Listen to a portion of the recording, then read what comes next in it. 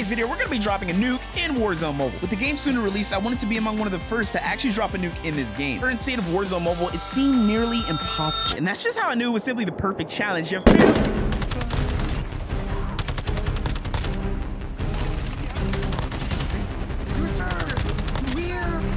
No, no, no, help, help! I can't die. I'm in their spawn. Oh my god, I'm on like a 13 right now. Let me tell you something. Let me tell you something. Let me tell you something. Let me tell you And after hours of playing, I quickly realized to the magnitude of actually how difficult this challenge was gonna be. I honestly felt myself getting better, and there was no way I was gonna give up.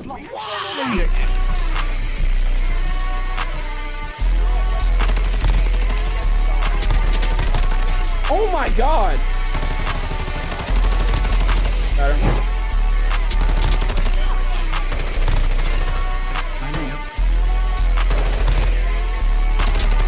With my VPN consistently crashing and me just having connection issues, to be honest, I just wanted to quit.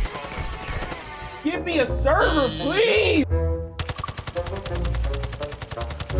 Give me a server! What was that? But I knew I invested too much time, so I had to lock in. Regain all that confidence that I started this challenge with.